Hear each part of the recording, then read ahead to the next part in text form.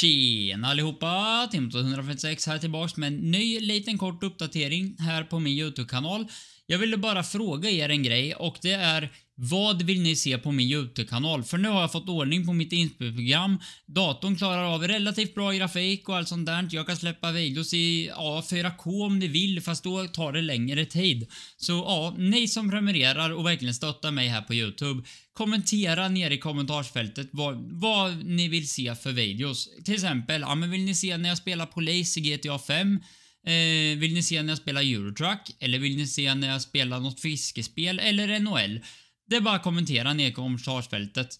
Sen vill jag tacka för 1690 prenumeranter. Alltså ni, ni är helt magiska. Jag, jag, är, jag är helt såld alltså. Jag lovar er.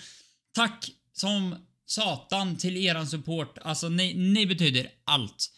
Sen var det en sak till och det är jag har gjort ett nytt outro till min YouTube-kanal som kommer komma här efter jag pratat. Så ja, jag hoppas att ni tar hand om er. Detta är bara en kort liten uppdatering som sagt. Det kommer komma videos. Eh, ni får ha det gött, ta hand om er, gilla, prenumerera, kommentera så får ni ha det jäkligt gött. Ge kärlek, inte hat. Kram på er alla. Hej hej!